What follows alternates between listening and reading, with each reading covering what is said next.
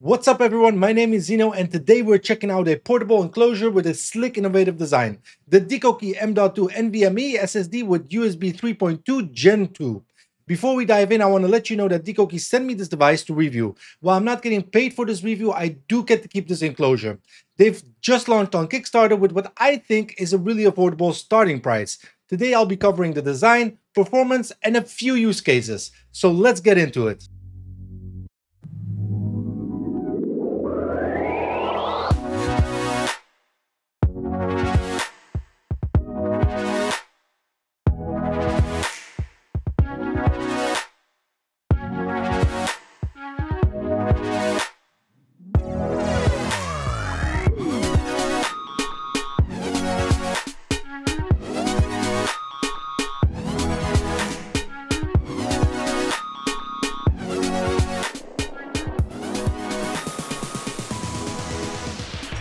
That was their product launch video, which I loved. And the first thing that you'll notice right here is the packaging. It's pretty minimalistic, which I love. So let's crack it open. All right, here's what we got. Right on top, we've got the enclosure itself, wrapped in a silicone case, which is a plus point to me, especially because it's so compact, it's portable, you can easily put it in your pocket, if your keys is inside, you can scratch the metal case easily. So the silicone case is definitely a plus to me. If we look further underneath the box, you'll find the USB-C to C cable just uh, as an extension. So that's also a plus to me that it comes with that. So the design itself, it's got a really slick all metal build, definitely feels premium in the hand.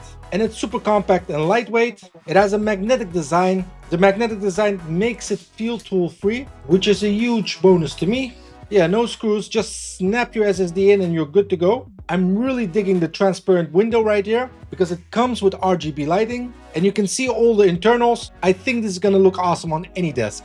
And since it's magnetic, and my desk also, it actually sticks to the desk. That's pretty awesome. So you have the top cover right here. You can take that off and here you'll see the USB-C port. Besides that, you can also take off the back plate, which is also magnetic. There you go. So that's pretty nice feeling and you can easily swap M.2 SSDs without using any screwdrivers. You can just take it out like that and there you go. So that's a pretty easy process right here. And if you want to swap them over, you just put it in and there you go. And that's it. Put the backplate on and now you've swapped SSDs. So that's pretty cool. So I can imagine you can use this for many use cases like your PC, laptop, you want to transfer something over, but also your game consoles. But something I use the Samsung T5 for, for instance, is very annoying. And to me, this is a very big bonus for any iPhone user. Did you know that recording ProRes at 2.8K 60 FPS is only supported when using external storage? Well, connecting the DECOKEE enclosure to your iPhone unlocks this feature. While I'm using the T5 with an extension cable, I always have to hold it while I'm recording.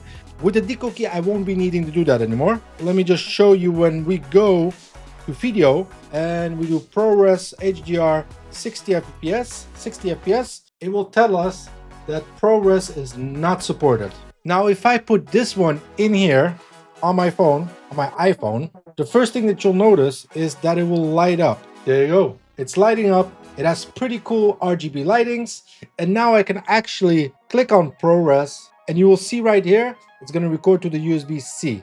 And now I can record easily like this without having the need of the T5 next to it with a cable. And it works pretty good. During my testings, the USB did not disconnect while recording a video. Now on any iPhone, you can access any data through the app called Files. Just go to it and you'll see the PNY folder appearing. And here you can copy files, transfer files, find your recordings, whatever, everything you can find in this folder. So that was the testing on the iPhone, which works great, but we also got an Android phone right here. So let's check that out. And it's a very easy process. Just take the enclosure out the iPhone, put it in the Android phone, and with Android, you always get a notification. There you go, USB connection request, just press OK, and here we can use the My Files application on the Samsung phone. And there you have it. So instantly you'll see internal storage and underneath it you'll find USB storage 1. In here you can find all the files you have, copy it, transfer files, whatever, you name it, you can do it all from here. So those things works great. But what I really want to find out, how are the speeds on this device?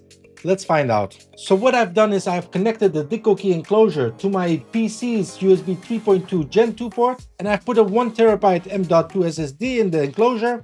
As you can see on the left side we've got Crystal Disk Info which will give us all the info we need to know about the SSD in the enclosure. And on the right side I've opened up Crystal Disk Mark where we can actually test the speed.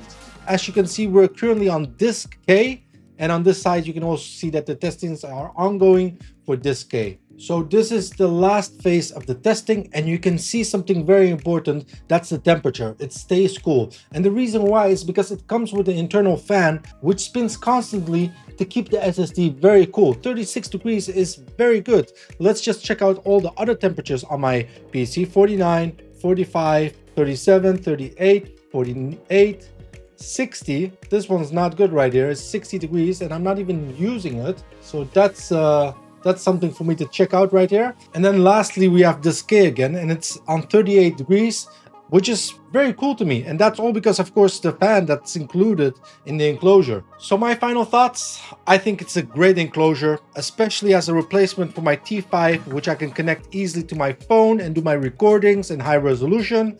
Um, it comes with the RGB lighting and with a fan that's integrated, keeps your SSD cool. It's easy to swap over SSDs and you even can get the hub for it and two additional enclosures, just like as you see right here. So that looks pretty cool on your desk.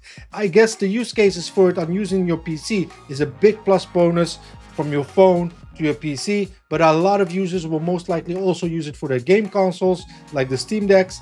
And uh, yeah, I just wanted to show you this page on Kickstarter. I'll leave the link in the description so you can check it out yourself. You can see how many backers there are. There's 29 days to go and they've already had a lot of funding for it.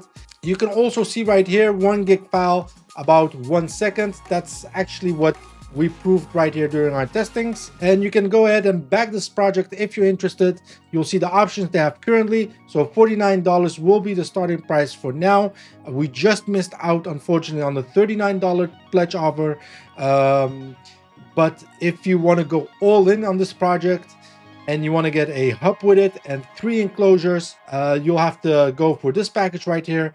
Or if you're even more crazy than that and you want two hubs with six enclosures, you'll go for this package right here. The pricing you have now, if you think this is a good fit for you, I would get it right away because it will be getting expensive for after Kickstarter. So I guess that's it. Thank you all for watching. And if you found that this review was helpful, give a thumbs up and don't forget to subscribe to the channel for more tech reviews like this one. Thank you again for watching and don't forget, I'll see you in the next one.